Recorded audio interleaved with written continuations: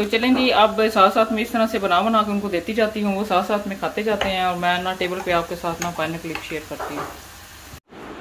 ये जी इब्राहिम यहाँ पे स्टडी कर रहा है। ये जी स्टडी कर रहा है। इतने सोने बंदे भी स्टडी करते हैं ये देख ले। मैंने तो कहा था सोने बंदे स्टडी नहीं करते हैं।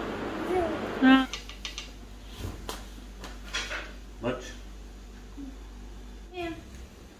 पसंद आया? जी। याद ताज़ हुई है, रमज़ान में। वालेकुम जी, कैसे हैं आप सब? उम्मीद करती हूँ सब खैरियत से होंगे। अल्हम्दुलिल्लाह जी, मैं भी बिल्कुल ठीक हूँ। अभी जी बस घर के छोटे मोटे काम कर रही हूँ और बस बच्चों को शॉवर देना है। अच्छा आमना आई है स्कूल से तो पहले खेलती रही है। मेरा दिल था कि थोड़ी देर सो जाती, लेकिन वो जी खेलती रही है और अब वो सो गई है। तो अब मुझे रात को वो बहुत ज़्यादा तंग करेगी। बस, जी, आज खाने में तो मैंने आज कद्दू बनाया हुआ था। जैसे कि आपको पता दिन के टाइम पे। लेकिन अब भी जी शाम के टाइम पे थोड़ा सा आज बारिश भी हुई है और थोड़ा सा चेंज आ रहे हैं तो मेरा दिल है कि आज कोई चिप्स बनाते हैं। अच्छा अब हरे मसाले की बनती है चिप्स उसका नाम मैंने खुद अपनी तरफ़ से रखा हुआ है, हरी पनीर चिप्स बनती है। अच्छा बहुत ज़्यादा मज़े की बनती है। वो बनाने जा रही हूँ तो छोटी सी उसकी रेसिपी है, मैंने कहा आपके साथ भी शेयर कर देती हूँ। तो घर के जो छोटे मोटे क्लिप शूट करती जाऊँगी, आपके साथ शेयर करती जाऊँगी। तो जी, आपने वीडियो में मेरे साथ रहना। बैठ के ये वीडियोस देख रही है। और ये अम्मी और अम्मी का पोतरा। ये जी अम्मी की चेकिंग चल रही है। इब्राहिम। इब्राहिम। इब्राहिम। बिशु हो सकता है। कोई इतना भी सोना हो सकता है। अमीना क्या कर है? अक्सी छी आप क्या कर हो? आपने क्या लेना? क्या लेना? मैंने रख लिया है और यहाँ पे आए ये जी, मैंने आलू बड़े अच्छे से ना मोटा मोटा थोड़ा सा कट किया है और ये दो मीडियम प्याज, तीन सबज मिर्चें और आप काटें आधी गड्डी ना धनिए की। ये मैंने चॉप कर लिया। बारीक सा चाहिए इतना ज़्यादा वो मोटा मोटा वाला नहीं चाहिए। और साथ ही जी इसमें जाएगा जीरा। साबुत जीरा अच्छा पिसा हुआ भी जीरा है लेकिन मुझे साबुत जीरा चाहिए। और साथ में दश के मसाले जाएँगे सारे के सारे। जो जो जितना जितना मसाला जाएगा ना वो मैं आपको बता दूँगी ठीक है? तो चलें अब रेसिपी को किस तरह से बनाना है मैं आपको बता देती हूँ। साथ ही में अभी बेसन भी जाना है वो अभी मैंने नहीं निकाला वो मैं निकाल लेती हूँ साथ। ठीक है ये साथ ही होता है ऐसे तो हमने ले लिया है खाली बाउल। इसमें हम शामिल कर रहे हैं आलू। आलू मैंने थोड़े से मोटे मोटे कट किए हैं। आप बारीक भी कट कर सकते हैं, दरमियाने भी कर सकते हैं, जो आपकी अपनी मर्ज़ी है। लेकिन जरा मुझे इस स्टाइल में अच्छे लगते हैं, ठीक है? और इसके अंदर जी, क्योंकि मेरे पास और भी आलू हैं, ये जितने आलू हैं ना, इतने ही और भी आलू हैं। और ये जो मैंने बनाया ना सामान, ये अच्छा आलूओं की अगर आप, किलो के हिसाब से पूछेंगे तो ये तकरीबन सवा किलो आलू हैं। आलू हैं और इसके अंदर ये जो मैंने बनाया ना सामान, ये मैं हाफ़ डाल दूँगी। ठीक हो गया। ये हाफ़ डालने के बाद तो इसको जी हमने फिर करना है मिक्स। लेकिन अभी मैं नहीं करूँगी क्योंकि हाथों पे लगेगा, फिर मेरे हल्दी जाएगी, बिल्कुल चौथा हिस्सा चम्मच का, एक टीस्पून जाएगी बीच में सुर मिर्च, ये जो कुटी हुई लाल मिर्च जाएगी, एक टीस्पून, और साथ ही में जी जाएगा पिंक सॉल्ट तकरीबन, सवा चम्मच, और चौथा हिस्सा जाएगा गार्लिक का और थोड़ी सी बादी होती है ना, इसलिए मैं इसमें गार्लिक शामिल करती हूँ। और हाफ़ टी स्पून जाएगी इसमें काली मिर्च की और एक टी स्पून जाएगा इसके अंदर खुश धनिया पाउडर का। ठीक है, ये सारे मसाले मैं उसमें शामिल कर लेती हूँ।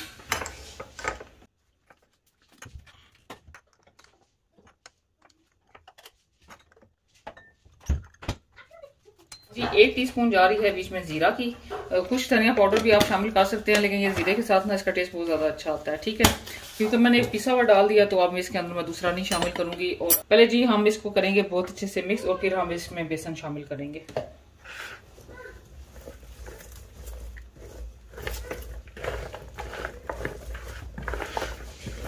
ये एक किस्म की हरी भरी चिप्स आप इसको नाम दे सकते हैं।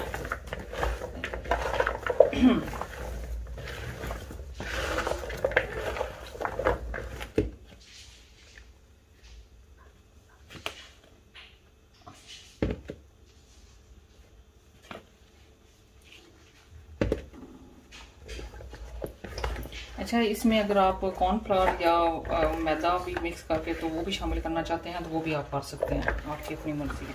लेकिन मुझे ना बेसन के साथ ज़रा ज़्यादा अच्छी लगती है ये। तो आप, आप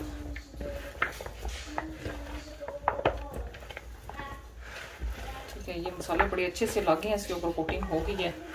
और अब हम शामिल करेंगे बेसन भी लग चुका है ठीक है। और ऑयल इस स्टेज पे हमने करना है बहुत अच्छे से गर्म। जब हमने चिप्स डालनी है ना तो ऑयल बड़े अच्छे से गर्म होना चाहिए, ठीक है? और, ये देखें हमने बड़े अच्छे से कर, अगर आप इसको मतलब मसाला लगा के थोड़ी देर के लिए अगर आप भी देते हैं ना तो ये अपना पानी छोड़ेगा तो इसमें पानी की ज़रूरत नहीं है अगर तो होती। तो प्याज भी पानी छोड़ देते हैं, और साथ ही में जी आलू भी पानी छोड़ते हैं। सब्ज मिर्चें और धनिया भी पानी मतलब इस तरह मसाले लगते हैं ना तो पानी छोड़ते हैं तो वो बड़े अच्छे से फिर हो जाती है इसकी कोटिंग पानी इसमें हमने, पानी की हमें ज़रूरत ही नहीं पड़ी है तो कोशिश कीजिएगा, अभी ना शामिल कीजिएगा, नहीं तो ऊपर से ना मसाला उतरना शुरू हो जाता है। ठीक हो गया? अब ऑयल हो जाता है गर्म। हम चेक करते हैं, अगर ऑयल गर्म है तो हम इसमें चिप्स को डाल देते हैं। अभी ऑयल गर्म नहीं है। अच्छा ऑयल अच्छे से गर्म कर लिया करें तो फिर इस तरह की कोई भी फ्राई चीज़ बना रहे हो ना ऑयल को अच्छे से गर्म किया करें। अगर ऑयल अच्छे से गर्म नहीं होगा तो ऊपर से उसके जितनी आप लगा रहे हैं ना कोटिंग वगैरह तो वो सारी उतर जाती है। ठीक है?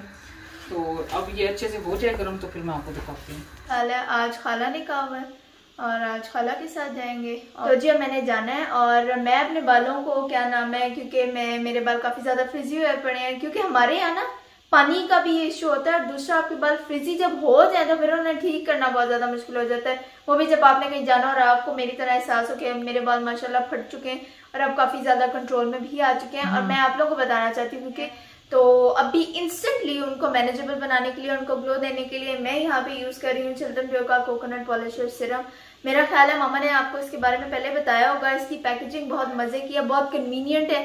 ठीक है, आपके जितने आजकल, क्योंकि छोटे पर्सेस का फ़ैशन है तो इजीली उनमें भी आ जाता है। आपने करना क्या है इसके? अब मेरे पास बहुत लंबे, फिर भी मैं इसके दो ही पंप्स ले रही हूँ, ठीक है? एक मैंने पहले कर लिया था, एक शायद आपके सामने हुआ है तो दो पंप्स हो गए।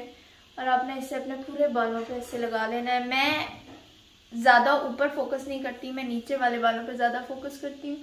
और उसके बाद यहाँ पे, जहाँ पे आपके बाल फ्रिजी और रफ हुए हैं वहाँ पे आप इन्हें आराम से लगा सकते हैं। बिल्कुल भी आपको शिन होगा मैं उधर इसे देख रही हूँ क्योंकि वहाँ पे मेरे रहे ठीक है? हम्म। और ये शाइन देखा ना जो इंस्टेंट शाइन आ जाती है ग्लो आ जाता है ना अच्छा। और जितने सेट हो जाते हैं। अच्छा अभी आपको ऐसे लग रहा होगा कि जैसे ऑयल लगा दिया है अभी इसमें जब हम ब्रश करेंगे ना तो फिर इस तरह का इशू नहीं और होगा। आप यकीन करें ये ऑयल नहीं है ये ऑयल नहीं है। ये सीरम है। ये सीरम है। एंटी एजिंग सीरम के बारे में। अब बहुत सारे लोग कहेंगे कि अभी आपको तो इसकी ज़रूरत नहीं है क्योंकि आप काफ़ी यंग है यंग एज में इन चीज़ों की ज़रूरत नहीं होती। तो आप यकीन करें एंटी एजिंग यंग एज से ही शुरू होती है। एंटी उसको प्रिवेंट करने के लिए। क्योंकि जब एजिंग हो जाएगी, फिर एंटी एजिंग का कोई इतना खास फ़ायदा नहीं होगा, फिर आपको बोटॉक्स वगैरह ही यूज़ करना पड़ेगा। तो बेहतर है कि आप पहले ही उसे प्रिवेंट करना शुरू कर दें। आने लगी हूँ, एक इंतहाई ज़बरदस्त एंटी एजिंग सिरम के बारे में ये है जी चुल्तन प्योर का एंटी एजिंग सिरम ठीक है? ये स्किन को हाइड्रेट करता है एंटी रिंकल है ऑब्वियसली और फाइन लाइंस की अपेयरेंस को बहुत हद तक मिनिमाइज कर देता है। एक लिमिट तक के जहाँ आपको लगता है कि ऑलमोस्ट है ही नहीं जैसे फेस पे कुछ।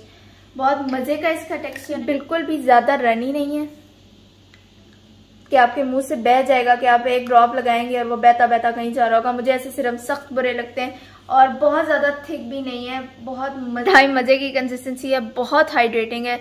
और मुझे अल्हम्दुलिल्लाह इससे कोई भी एलर्जी नहीं है। इसके सारे इंग्रेडिएंट्स लिखे हुए आपने दो से तीन ड्रॉप्स लेने हैं, ठीक है?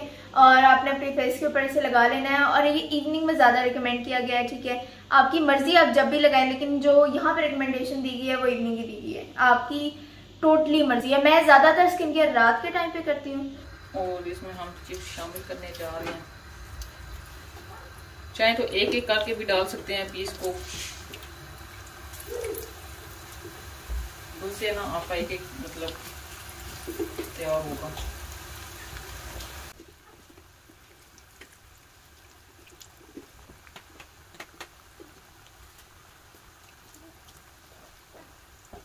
शामिल कर दिया है। अब इसे तीन से चार मिनट के लिए दफ़ा पकने देते हैं ताकि जितनी कोटिंग है ना वो ऊपर लगी रहे। ठीक है, इससे पहले कि जज्बात में आके हम कोटिंग उतार दें और हमारी हरी भरी चिप्स जो सी है वो चट्टी हो जाए। ठीक है तो बस अब ये थोड़ी सी कुक होती है ना तो फिर मैं आपको दिखाती हूँ। तो ये जी देखें, एक साइड से हो चुकी है कुक अब इसकी मैं साइड चेंज करने जा रही हूँ। और ये देख लें, जिस तरह से ऊपर मसाला लगा हुआ है। बस ये चीज़ आपने तैयार करनी है।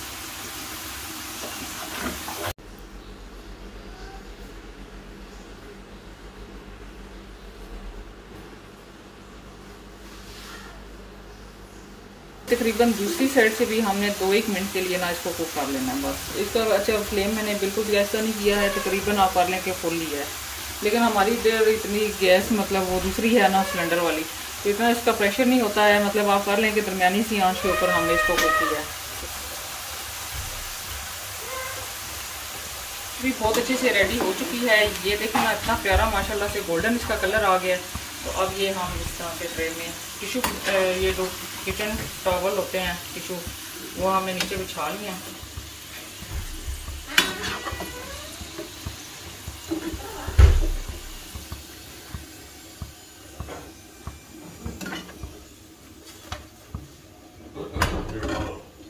ये देख लें ऑयल मतलब बिल्कुल साफ़ है।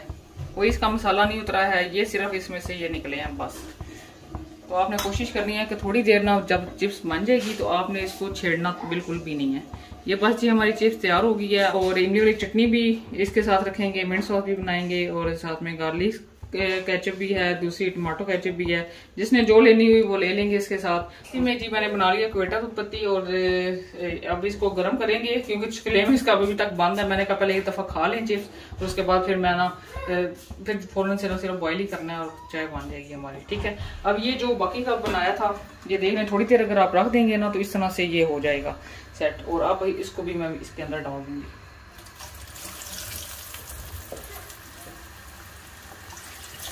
तो ये जी है हरी भरी चिप्स की फाइनल लुक और माशाल्लाह बहुत ही ज़्यादा ये मज़े के बनते हैं। बस थोड़ी देर आपने ना जब इसको इस तरह से बीच में डालना है ना ऑयल में, बस थोड़ी देर आपने छेड़ना नहीं है।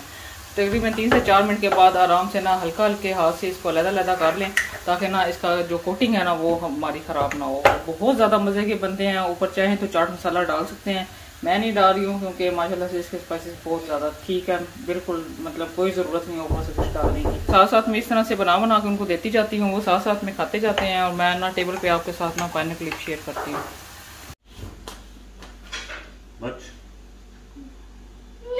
अन्ना अच्छे हैं? हाँ, अच्छी है। अच्छी है। बाबा ठीक होने हम्म, बहुत अच्छा बड़ा टेस्टी टेस्टी है ना? क्रिस्पी और टेस्टी अम्मी सही बने ने? नरम ने? सख्त नहीं ये भी थोड़े थोड़े दोपहर की आमना वाली फ़ील्ड है उनका दस कैसे बने हैं? अच्छे हैं। पसंद आए हैं? जी। याद ताज़ हुई है? रमज़ान में?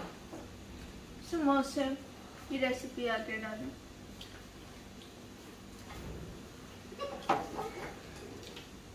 ये भी मुकदस ने नाम उसका रखा हुआ है हरी भरी चिप्स, ठीक है? तो उसकी रेसिपी मैंने आपके साथ शेयर कर दी है तो उम्मीद करती हूँ कि आपको अच्छी लगी होगी। आप लाजमी ट्राई कीजिएगा, जैसे आजकल आपको पता है कि पता ही नहीं चलता है एकदम से बारिश शुरू हो जाती है, बरसात के मौसम के लिए बहुत ज़्यादा मतलब अच्छी और एक बहुत ही टेस्टी बनती है, ठीक है?